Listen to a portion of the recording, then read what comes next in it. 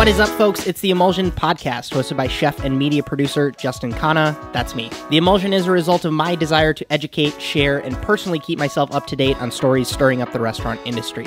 I also sit down and interview remarkable professionals that are making exciting moves in their own unique and creative ways. Fine dining, chef swaps, new gear, critiques, professional performance, balance, hospitality, as well as the occasional rabbit hole are all just a few of the topics we get into here.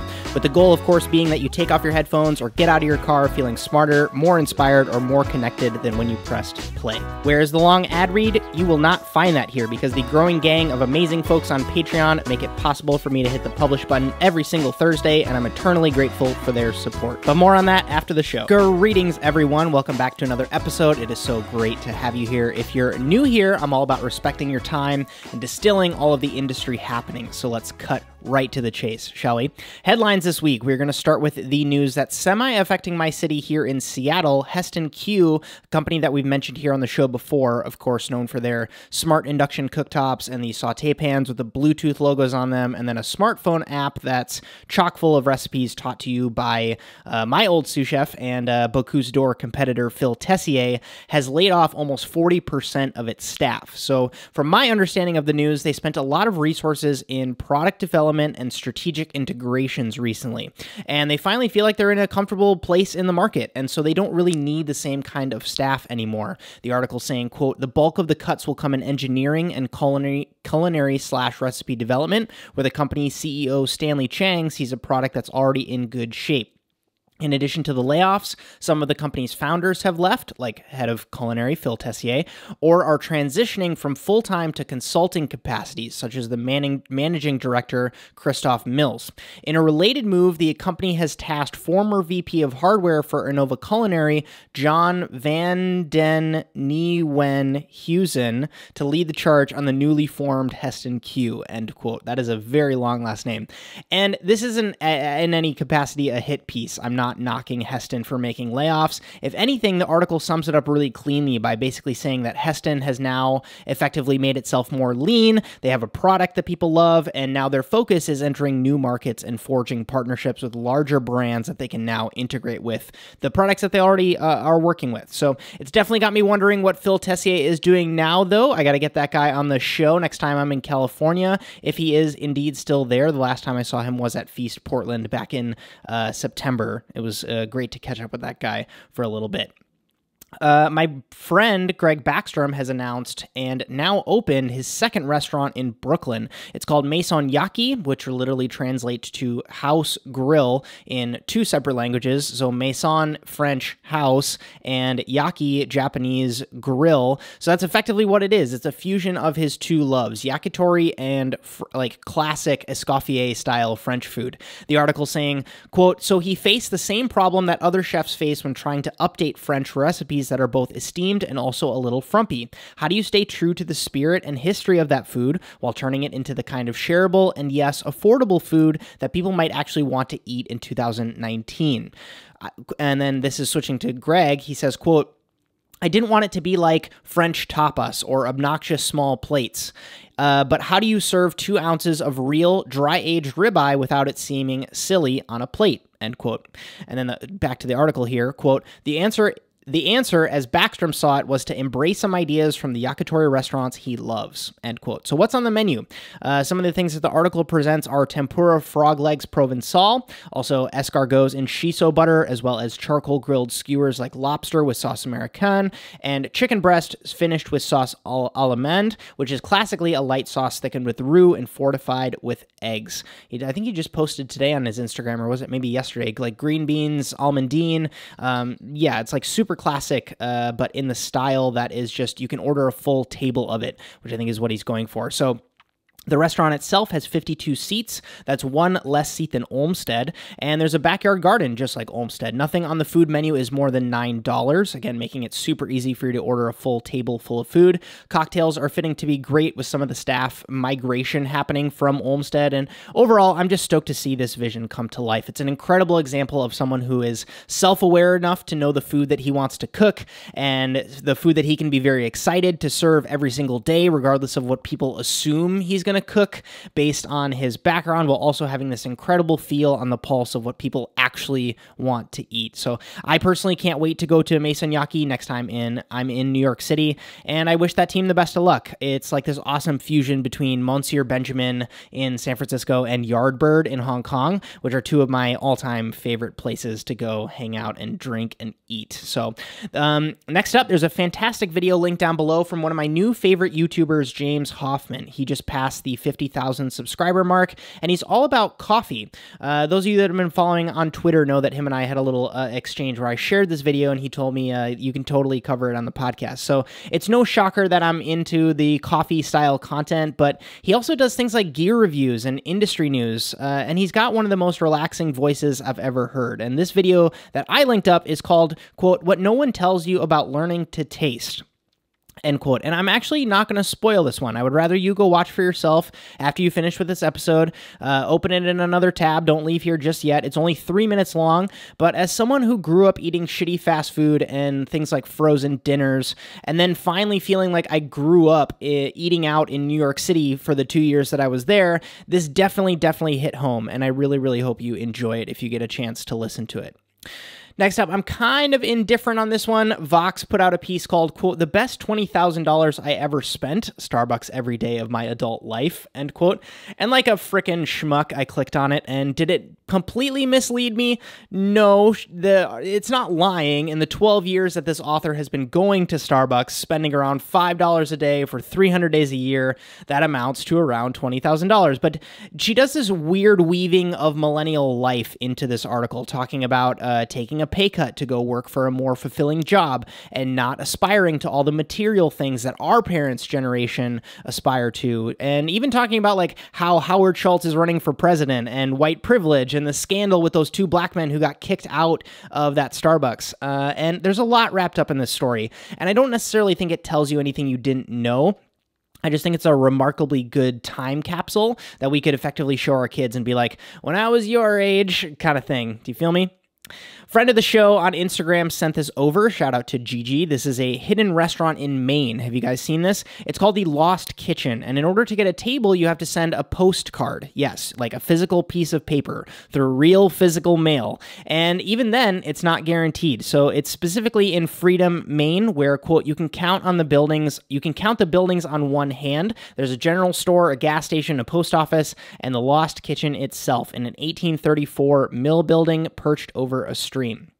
The other stats on this place the kitchen is helmed by Freedom native Erin French. It's an all female staff where they do one seating per night of just eight tables. And a little bit more about that postcard thing the tables for summer open on April 1st. So your card has to be postmarked between April 1st and April 10th to get a table for the entire summer. And they received 20,000 postcards this year, which is just, I don't even know what that looks like. Like, have you seen those uh, graphics where they show like what a million dollars uh, printed money? looks like, and then they show what a billion dollars looks like. What does 20,000 postcards look like? That'd be an interesting uh, thing to see.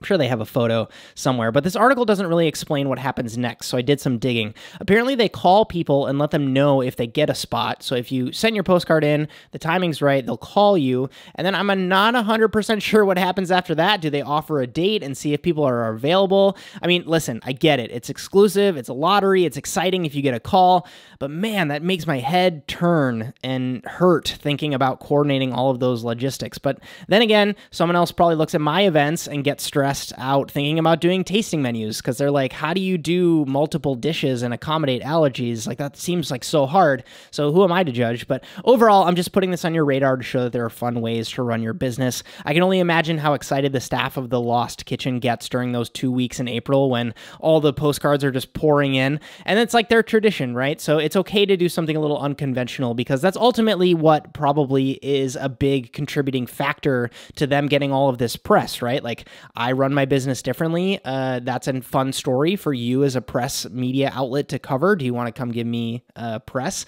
See how those uh, cycles work?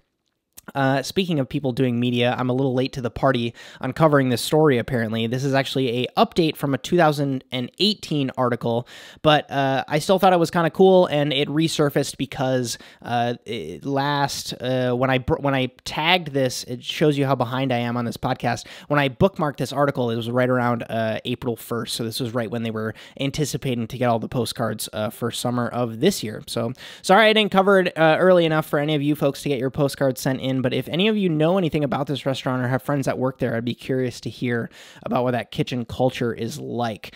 Um, I would challenge you with that question today. Feel free to let me know in the comments uh, if if there's anything that makes your business, if you are a business owner, stand out from the crowd. I know that this is like maybe they are doing. Uh, I mean, there's enough people in the U.S. who are doing unique uh, single seating tasting menu style things, but none of them are taking uh, postcard reservations, from what I know. So uh, yeah, let me know in the comments if you got something to share or a breakthrough that you've just made where it's like I'm going to do this, but I'm going to do this little part differently. I'd be curious curious uh, to, to hear uh, what you're thinking about lately.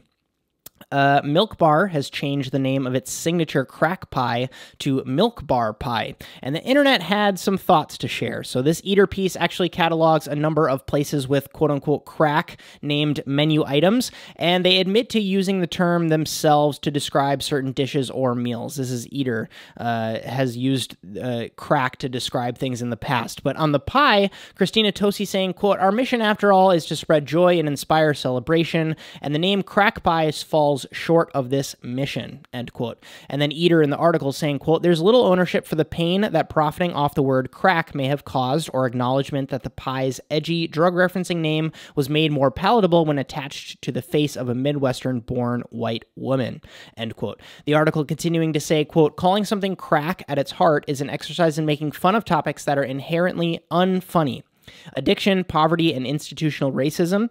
The winking reference glosses over the fact that because of the war on drugs, the U.S. incarcerated poor, primarily black crack cocaine users at higher rates with harsher sentences than their white, powdered cocaine using counterparts. That resulted in a generational issue that still impacts black communities, end quote. And also saying that calling something crack essentially shows, quote, how out of touch and callously classist food culture has become, end quote. That's a lot of shots fired there. And in all honesty, this piece has enough to unpack itself. It, goes very in depth, uh, and it's talking about things that I like. I could have absolutely made this a main story, but I've chosen it to keep it a headline because I think the takeaways are simple. Right? Listen to my episode about Soleil and the language that she won't be using in her food writing. So I go more in depth about why one of the most respected voices in food today is thinking about what language she's going to use to describe food and why that's so important. And then the other takeaway should be more of a macro principle of kitchen language, right? So to me, I think it's a little bit simple. We know that half the reason most of us got into this industry is because we don't want a desk job, right? We don't want to have three HR managers breathing down our necks and checking our emails, right? We have quirky senses of humor. We kind of like the abuse sometimes. When you when you get a thick skin, making jokes about topics that have weight to them don't seem so bad, right? And looking at any of the stories that we've covered over the over the past 10 months of this show, I think that's kind of evident and all the people who get these allegations pressed on them, uh, the fact that the job pool now has a ranking system of restaurants to work for. We covered that a couple weeks ago. And I mean, hell, you probably have a sizable target market of people who you want to come eat at your restaurant that live in the HR corporate system every day of their work lives. And what you, one of you might look to as a simple joke or a jest, that can end up rippling out way further than you intended. So you've effectively got two choices. You can either keep doing the pirate ship thing, right? No one's going to stop you, but then you can't expect to be thrust into the limelight where you want to be associated with people and organizations that have more at stake than just your sense of humor, right? I mean, listen, I love kitchen culture. I really, really do. But this is kind of a shining example of a kitchen joke that saw the light of day, and not everyone is as keen on it as we are. So, do you have thoughts on the name change? Do you um, have people that uh, take it the other way and were offended from the beginning? Do you think that it's uh, something that's just been taken uh, a little bit too far uh, out of context, or people a little bit too social justice lately? Is it a long time coming and it should have never happened? I, I'm really curious to hear hear your thoughts on this um, because, like I said, Eater does a really great job of giving the history on why it is such a big deal and why it does impact so many people um, and why these things can be so contextual. Um, but yeah, I'd be curious to hear your thoughts. So tweet at me or let me know down low in the comments, please. Last up, headline style Time put out its list of 100 most influential people of the year. And on the list from the food sector are Samin Nosrat, of, of course, Netflix and cookbook fame, Massimo Bottura, and the infamous Chrissy Teigen, who Eric Ripert actually has praised for her quote unquote truly excellent cooking. Huh. Who knew Eric Ripert and Chrissy Teigen were homies? But it's always great to see new and old faces being recognized for their impact on the world. Of course, that one cover a couple years ago. Uh, do you guys remember that? Where it was David Chang, Rene Redzepi, and Alex Atala all on the cover of that? That was a really, really cool uh, acknowledgement for the chef space. Man, good times. Uh, all right, massive thanks time. You folks are seriously the best. I had a bit of a hiccup on some invoices over the past few weeks, and the Patreon fam made it so that I can continue to do what I do. Honestly, not even for me. Like I'm, I'm, I'm more or less okay. I'm talking about like paying Joe, paying for my website, paying for all those services that I'm subscribed to to help me make content, and it's honestly such a, a lifted burden off of my shoulders to have your support, and it really, really means a lot. So thank you if you're part of that support. If you want to learn more about how you can support the show and get your name shouted out as well as a thank you. Uh, links for that are down low in the description. Speaking of shoutouts this week, we have Alexander H., Adam W., Anthony G., all awesome folks who have either started contributing this month or even actually edited their pledges uh, to go higher this month. So, uh, really, really awesome stuff. Thank you. Thank you so much to everyone on Patreon. Today's beverage. It is my day off. I'm not supposed to be shooting this. I am uh, very, very behind uh, on all of my content, so I'm kind of working on my day off uh, today. I am deciding to crack open a beer because I'm going to dinner in about two hours at Conversation. Shout out to uh, everybody who listened to that and has been showing them some love uh, on Instagram as they start to open. Um, but yeah, it's my day off, so I'm having a uh, what is this? This is in my fridge. Deschutes Fresh Squeezed IPA born in Oregon. I don't remember why I have this. It is a 6.4% alcohol, um, juicy citrus and grapefruit flavor profile. Uh, Citra Mosaic hops were squeezed straight into the bottle. Um, says worth sharing. I don't think I've have had a beer from these guys before. They're from Bend, Oregon, and this is definitely an expired beer but it is what it is. That shows you how good I am at uh, going through alcohol here here in my household. So if you are in the mood for sharing a beer with me, I will ask you to pause this podcast now. Go grab a beer. Pausing. Okay. Did you crack it open? Okay. Cheers. Clink. Uh, Sunday, cold beer, sun's out. No complaints. Main story time Food and Wine has announced their list of best new chefs of 2019. So I'm going to do a quickie rundown for you here. Congrats to Kwame Onwuachi. That's crazy timing, huh? Misty Norris, uh, Mitsuko Soma from right here in Seattle, Matthew Kammerer, Nite Yun, Carolyn Glover, Paxx Caraballo Moll, uh, Jung Yoon Park, Brandon Go, Bryan Furman. Food and Wine saying in their curation of this list that they, quote, encountered chefs wading into the ever more intimate, deep, committing to the detail of work cuisine rooted in identity, choosing always to take the long way home, end quote. And I had to ask myself, as with most lists like this, and another one that I'm going to jump back to into in a second, how does it stand up over time? How good is their quote unquote best? Radar. So I went back five years to see what the list from 2014 looked like. This is just me nerding out, just trying to check like they gave stuff out in 2014. Are they still killing it today? And you've got chefs like Justin Yu from Oxheart, Mac Accarino, Matt Accarino from SPQR, Dave Beran from Dialogue was on the list all those years back then, Ari Taymor from Alma in LA, and the chef duo from Ox in Portland. And all of those places are still around. And yes, Alma closed and then reopened, but you feel me. And the chefs are arguably more prolific now from when they got the award. And so, am I saying getting this award cements your success for the next half decade? Absolutely not. But is there an element of the other awards coinciding with chefs on this list at the same time? Also, yes. But I guess what I'm trying to say, not tiptoe around here, is the dichotomy of the like of the, it's the dichotomy that the diversity of this list implies. Like on one hand, There are two less white males on this list than there were in 2014. Things haven't changed that much, but they make it a point to literally point out the fact that, hey guys, look, our list is diverse. Say, the article saying, quote, this is what food looks like right now at the edge of a decade of transformation in American restaurants, an age in which fine dining loosened up in which the food world recognized the limitations of a Eurocentric culture and came to understand what was missing without kimchi, prick, and jerk. In which critics wondered blindly where all the women and people of color were hiding, and then found them in plain sight, aprons knotted, heads down, sometimes twice as good, but half as seen. It was a decade that recognized far too late that professional kitchens weren't always fair places or healthy places or safe places and began the work for transforming itself. And so here we are at the tail of one decade and the head of another, and this one more thrilling, more radical, and more inclusive for its spirit of revolution, and because of that, in infinitely more delicious. End quote. Uh, I don't know how I feel about that because it totally contradicts my feeling about merit above all, right? And treating everyone with the same measuring stick, regardless of the food that you're cooking, right? Flavor and execution. That's my jam.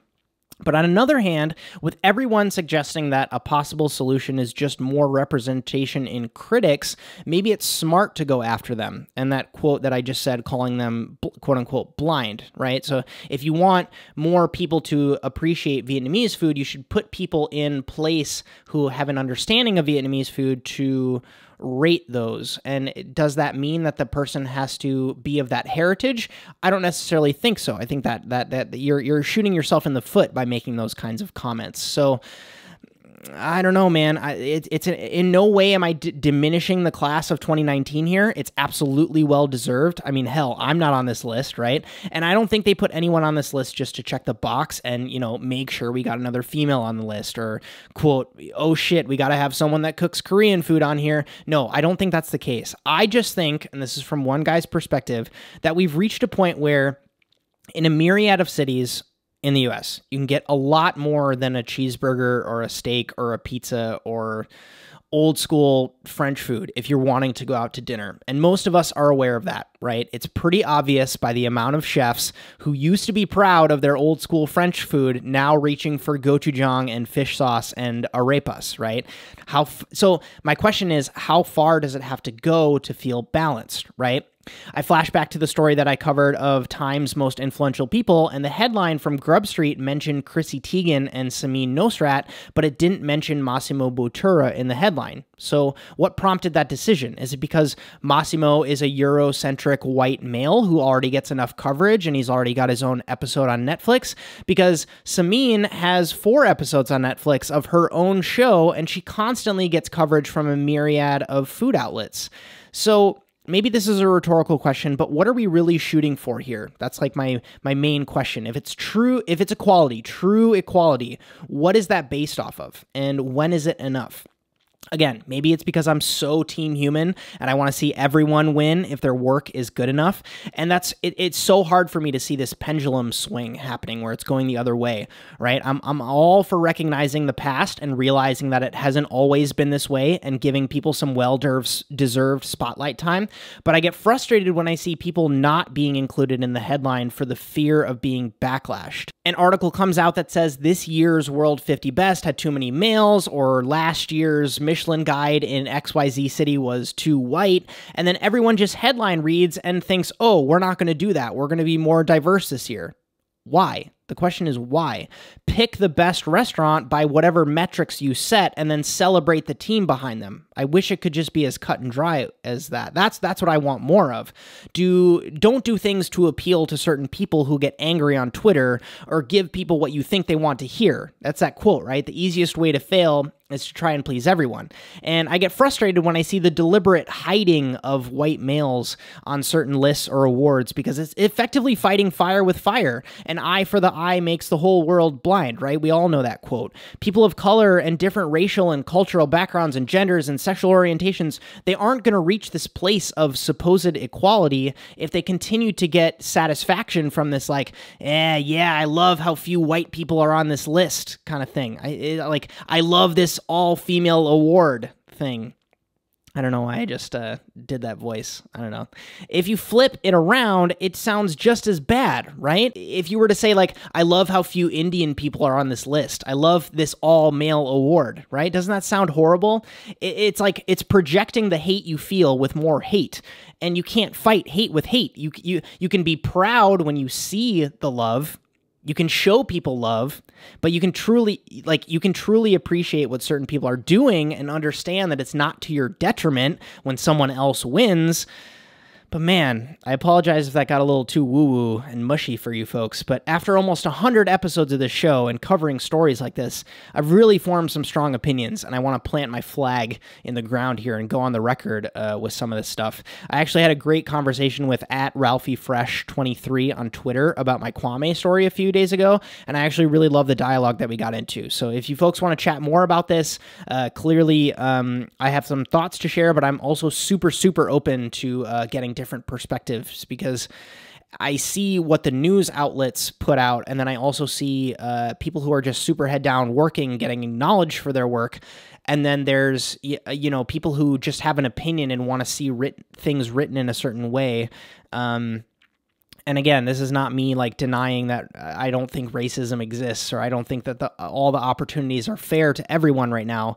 Um, yeah, just some of these like rhetorical questions that I'd love to uh, chat through further and make them not so rhetorical, where we actually get into it. So please jump into the comments or tweet at me. I'm at Justin at Justin underscore Khanna over there, and I would love to learn your perspective or learn about your feelings and your thoughts, and and hear a little bit more about where we're at as an industry right now from your perspective.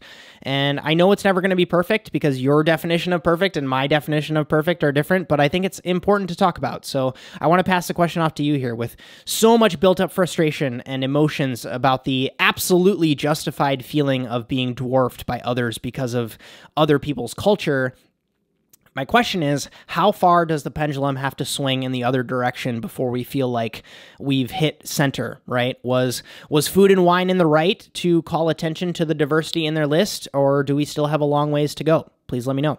All right, moving on. You folks, as your friend, your host with the most, your internet homie, I would advise you to not open a restaurant whose name starts with the word lucky. We chatted through Lucky Cricket. That didn't get received all that well. I've got an article linked up down below about Gordon Ramsay's restaurant, Lucky Cat. And now there's this massive controversy that just exploded on Twitter over this place in New York called Lucky Lee's noticing a pattern here. Where in the world do we begin? Let's start with Lucky Cat because that was a rather quick recap. As you could have probably guessed, Gordon Ramsay opened up a place in London with items uh, at the media preview that included, quote, a mini Wagyu pastrami burger with an Asian chili jam and Otoro fatty tuna, English asparagus, and smoked ponzu emulsion, and smoked duck breast with plum. End quote. So, quickie recap on what happened at this media thing and why uh, the article surfaced in the first place. So, this restaurant apparently doesn't have any Asian cooks on staff. Uh, the head chef has an Asian wife, and the food critic who kind of blasted him, uh, she is East Asian. Her name is Angela Hui, H U I and he she has accused him of uh, having a token wife, a Asian token wife. Uh, also, Gordon Ramsay has come out on Instagram defending his practices, saying, "quote It is fine to not like my food, but prejudice and insults are not welcome." End quote. One quoted guy on Twitter in the article named George Chen saying, quote, Is the famous chef going to curse at his white cooks in Asian or what? Every chef has a right to interpret another cuisine, but the integrity and culture, read authenticity, albeit I hate that term, needs to be studied in depth and not whitewashed for marketing purposes. End quote. Okay, okay, okay. So I personally had to do a little bit more digging and reading on this because CNN was this CNN clearly wrote this as a hit piece uh, for Gordon. I mean, the title of the article says cultural appropriation in it, but I gotta say, I did my best to see where his side could have been appreciated. But it's definitely a white dude claiming to be serving authentic things when he's clearly not, and I think that's part of the problem. And that's where the issue is, right? Like, take this other dish I found on their Instagram.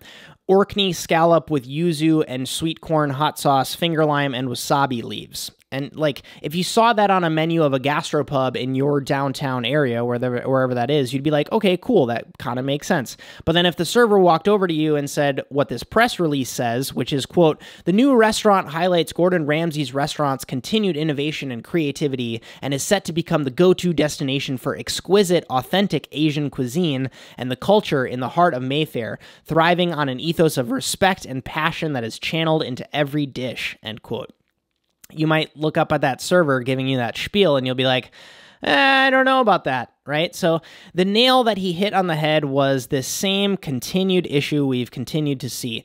Uh, like, I visit, look, guys, I've visited this exotic location before. I see bits and bobs that I can take from that culture, whether it's popular ingredients or new techniques or flavor combinations or a way to present things. And I'm going to claim that, and I'm doing it justice by serving it at a massive markup. And those three things together, right? The the lack of humility and appreciation, partnered with the big business e I'm going to profit off of you kind of feeling makes people who truly appreciate it hate you. And that's another part of the problem, right? So I think about a restaurant that I've talked about before on the show here, State Bird Provisions in San Francisco. Their service is clearly a play on dim sum service. They're not hiding behind it. They bring trays and carts around with food you pick what you want, they mark up the sheet on your table. It's fun. And in no way have they ever said that they are new dim sum or authentic Chinese service, right? The same goes for the story that we just covered about Maison-Yaki. Greg, Beck, Greg Baxtrom isn't claiming to be authentically anything.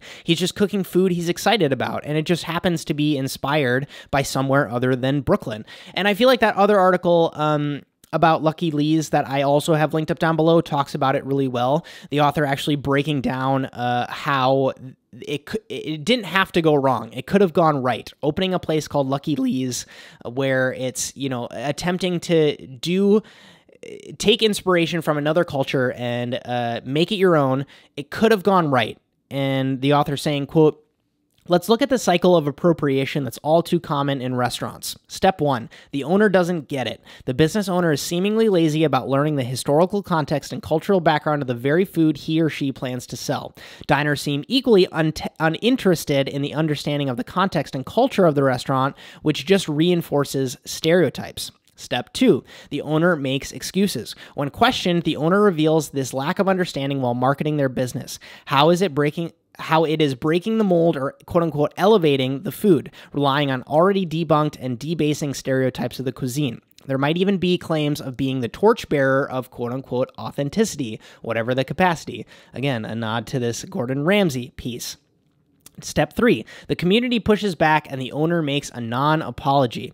The un- underrepresented community that r- expresses resistance to this profiteering is gaslit with indirect straw man arguments. The owner spouts archetypal, sorry if you were offended lines or issues a new age, we are about inclusivity non apology, meant to explain away all indiscretion and minimize concerns of the accosted community. End quote.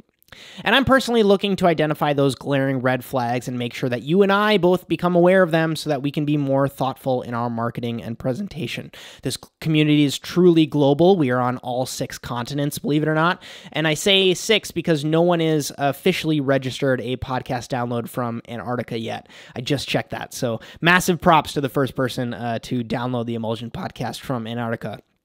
But that means that if you're from Australia and you trained in Japan, and because you just in your heart of hearts love Japanese food, or say, for example, you're Korean American, but you put in your dues at Alex Stupak's place, and now you're super poised to make America uh, amazing Korean slash Mexican tacos, or even someone like me, right? A guy who grew up in the Midwest. My dad's from India, and all my training is in modern American and French and Scandinavian food. What are people like us supposed to do? To make sure that we don't have a huge backlash. And I would like to think that if you listen to this show, your head is screwed on and you're in a pretty good place. But uh, like you're not going to go off and open your Italian slash Thai concept where you take old school Italian pasta dishes and make them in a wok and claim to be authentically either of those, right? But I think when you're able to understand the rules, then you're able to break them. That's a pretty age old quote. You can evolve, you can try new things, but if you know where you came from and you acknowledge those that have come before you, I think you're probably going to be okay. And I've been watching street food on Netflix over the past few days, like an episode a day, basically, while I eat dinner. And in addition to being a great show, I feel like I learn things every single episode. It actually shows you that even the traditions stem from bastardizing other things and tweaking influences from all over. And I think the problem now is that there's so much globalization and ideas can spread so fast that innovation occurs in shorter spans of time, right? And that's easier to recognize because we can literally remember the beginning and the middle and the end, right? So we take things that are literally less than 100 years old and we like to think of them as these age old things that have been around forever when that's really not the case. And I think it ultimately comes down to an ego thing. I think people want the clout that comes along with being the brainchild of something. And sometimes that comes at the expense of giving credit where credit is due. And I'll, of course, leave it to, to you to do your own reading. If you want to dive deeper into this story, you know where those links are. I don't got to tell you, you're not new around here. Um, but yeah, if you have thoughts to share on this, um, opening places with a name that isn't always respectful of the culture that you're um, executing the food under. If you're under that umbrella are you walking in there with muddy shoes and getting the floor all dirty and and breaking all the china in the place? Or are you uh, being a nice uh, guest and and and respecting things? I'm not sure. Some people aren't like us i guess all right, next up, I was going to do my cliche, here's a headline, read more if you want on this one, but you folks got to indulge me here a little because Grub Street came out with a piece on Paul Liebrandt and I have to dive deeper on it because he was so quintessentially inspirational, not just for me when I was starting off, but I distinctly remember uh, Chef David Breeden, who was the chef de cuisine of French Laundry getting uh, Paul Liebrandt's book, and he was just gushing over it. He was so unapologetically uh, creative. I think that, uh, that that's attractive to a lot of people, uh, diners and chefs alike. And I had the pleasure of having a fantastic meal at Corton with Anna uh, way back in the day. There's actually a funny story about us trying to order wine pairings at that meal when both of us weren't 21 yet, but that's for another podcast. So, this article is focused on giving us a bit of an update on Paul quoting him from the end of his documentary, quote, I will not be happy until I achieve what I came to this country to achieve, end quote. And then the article saying, quote, if the filmmakers shot a sequel now, the subtitle might be What Happened, End quote. So it catalogs the various pop ups he's been doing, consulting on menus and restaurants under his company uh, called Crumpet his history with uh, Drew Nieporent and how they used to lose, quote, $1,000 a day for four years, end quote, at Corton. Uh, his commonality with Chef Wylie Dufresne, who apparently also struggled with finances and being an ambitious mover and shaker, and a couple more things. So it's a really good recap of where Paul Liebrandt is at and kind of cataloging between the documentary and now. Um, and it actually has a bit of a melancholy undertone to it. Uh, Liebrandt saying, quote, I've been cooking since I was 15 in the top restaurants. It's a habit, an addiction to work. I don't know anything else, end quote. This article also references this really fascinating timing that also happened with chefs like Laurent Gras. Quote, in 2017, Liebrandt told Eater that restaurant investors were risk averse because of the then recent presidential election and the shaky stock market. Any investor partnering on an upscale dining eatery with high food and labor costs is making a big bet, particularly in this town where 80% of restaurants close in their first five years of business. End quote.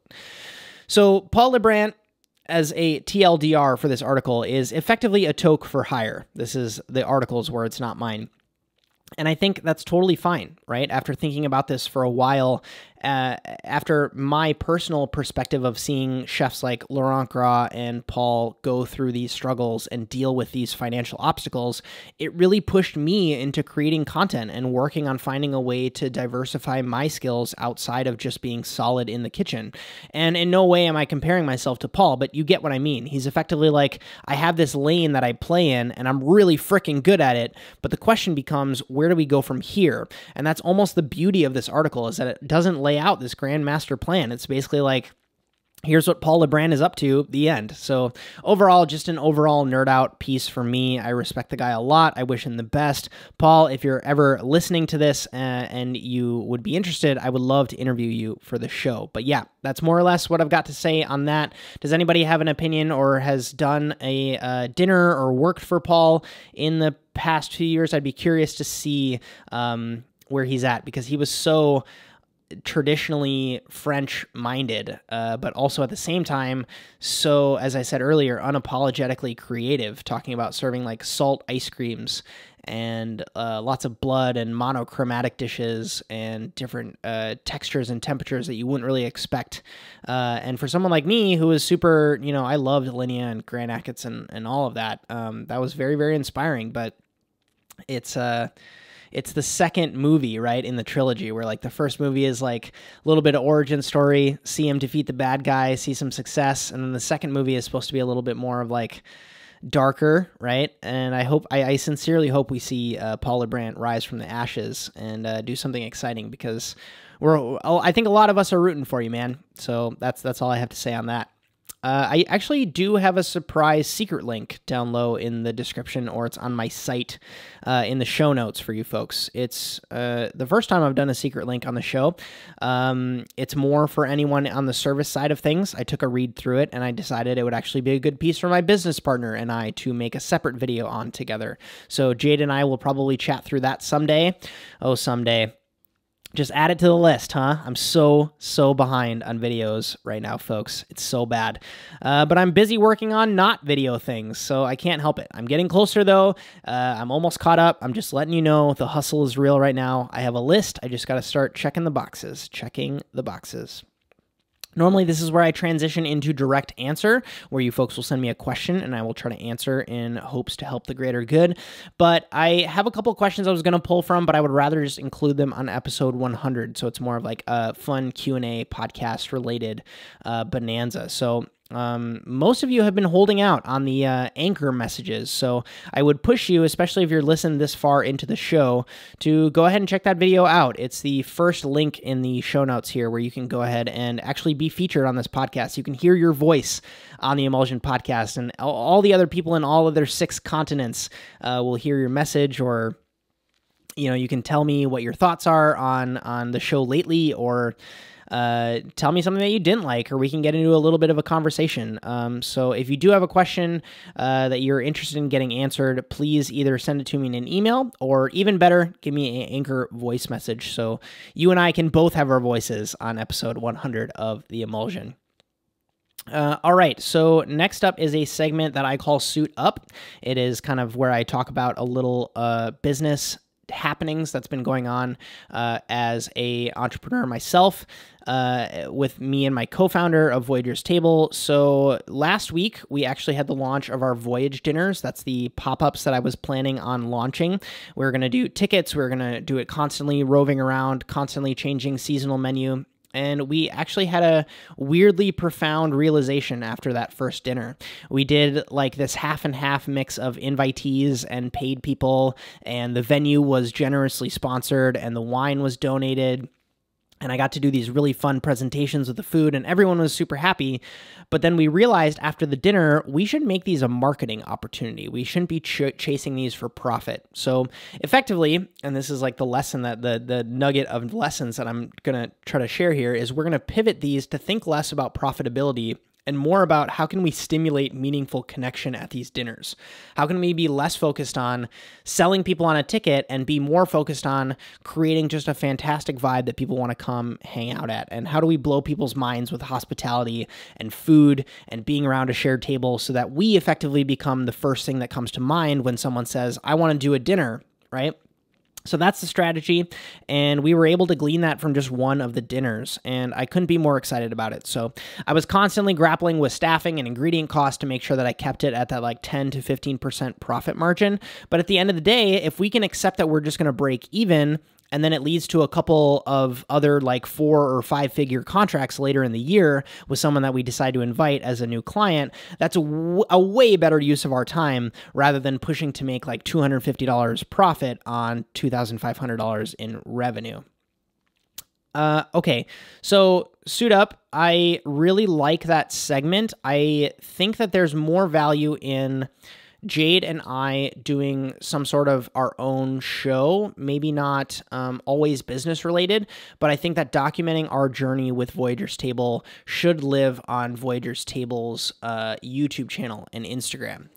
And uh, that's kind of like a realization that I came to after um, putting in some thought time around adding different segments to the show. And as I'm thinking about season two, that I'm going to talk about in a second here, um, I told myself I was going to do six episodes with Suit Up in it, but I think this is a really nice uh, kind of end cap to this series. If you guys are interested in more of this business chat, um, I will hopefully have a link to the Voyagers Table YouTube channel that we can go into uh, soon. But I think any tips on um, event planning and event production and logistics i think will live there. And then if i want to do any sort of pop-up chef focused information that will live on my channel. Again i'm trying to grapple with the fact that um, i have all this media and branding experience and i want to make sure that the company stands out in its own way.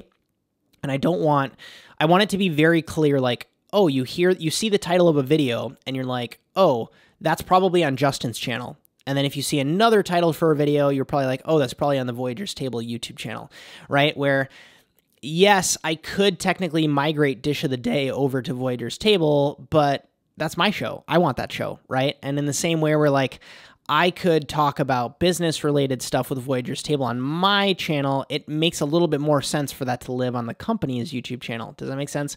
So it's all going to come with time. We're figuring it out. Um, but I would like to kind of end cap this as probably the last segment of Suit Up here on the show.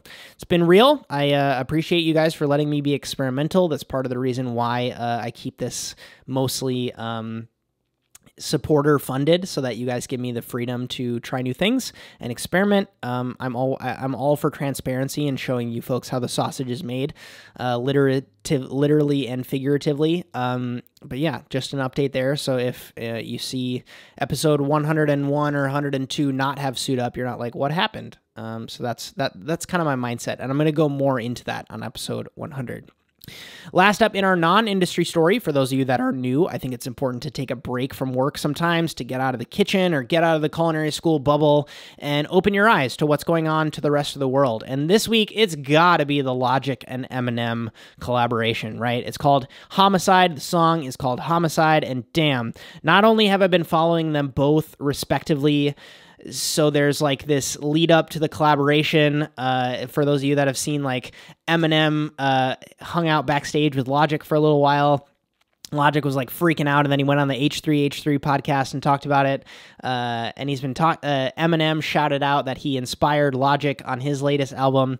So to see all that lead up to the collaboration is also super cool, which is like super 2019 way to think about it. But it's also uh, the song itself is just straight fire but it's awesome to see someone like logic who has these goals of like i want to work with eminem i want to work with jay-z i only want to work with nike on my sneaker and if i don't get them i'm not going to settle for someone else. I have these people in my mind that inspire me and i want to work with the best of the best uh, and he he flexes on people with his work instead of swag and it's really inspiring to see him make moves.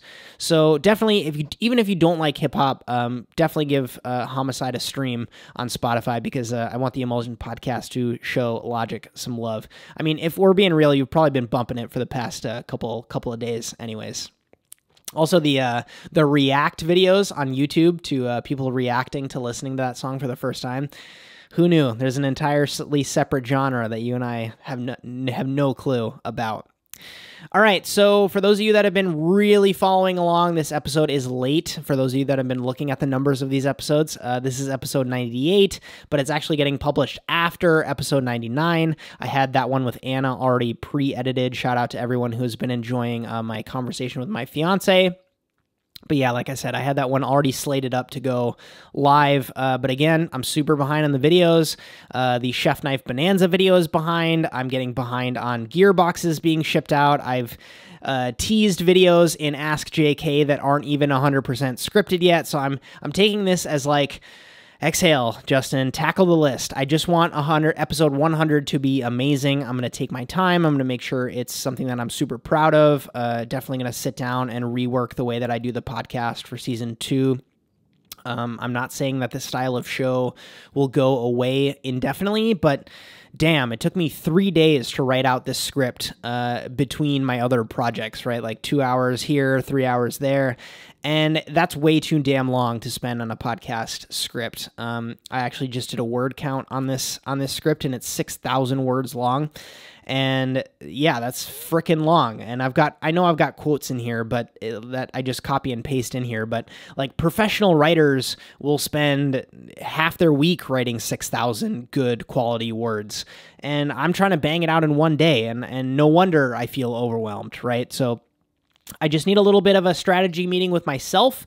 Uh, I, I, I still definitely want to keep this a weekly show. I love this show so much, but maybe splitting it up, right? So it's like headlines ish towards the front of the show where I like almost react to stories and then I tackle a specific concept or idea or issue that's in the industry, right? Where I talk about uh, cultural appropriation for this episode. And then the next week I talk about uh, the wage gap. And then the next week I talk about writing a cookbook as a professional chef. Um, and then we do kind of like a non industry story, and maybe I answer a question, uh, but that's it because I'm noticing some overlap, right? Where I ask for questions for direct answer, but then I do an Ask JK on the on the channel. And I would rather just uh, push people to ask their questions on YouTube. But anyways, that's just me rambling on uh, about all the pots that I have my hand in right now. So it can, it, with the goal also of making these solo episodes a little bit shorter. I think me ranting for 25 to 35 minutes ish in that range is very productive, and I can get a lot of uh, ideas out into the world in that way. And then that frees up the interviews, like the 60 to 90 minute interviews, to be their own style of video. And maybe those um, just are audio? No we just got a dual camera setup we can't we can't do that. Um I mean, seriously, let me know your thoughts if you have any. Uh, can't promise I'm going to listen to them, but uh, yeah, if you are like, please don't take away blank, um, I would love to know. Uh, better yet, leave it in the frickin' audio messages because I want to hear your voice. Say it to my ears. Say it directly to my ears, folks. If you have feedback on how you think I can make episode uh, season two even better than season one, I would love to know. Um, so either leave me a comment if you want, tweet at me uh, if you're just into using your thumbs, if you're into using your face, please log on to Anchor. Super easy. Uh, search. Um, it's in. It, it's a link. It's a link. It'll take you straight to Anchor. Um, and then that way I can hear exactly what you want to say. So as always, I really, really appreciate your attention. Uh, let's clink beers again. Cheers. If you uh, did end up opening a beer. Um, please leave me your thoughts in the comments. Get some color on that like button if you're on YouTube, or tweet at me if you're only on Twitter.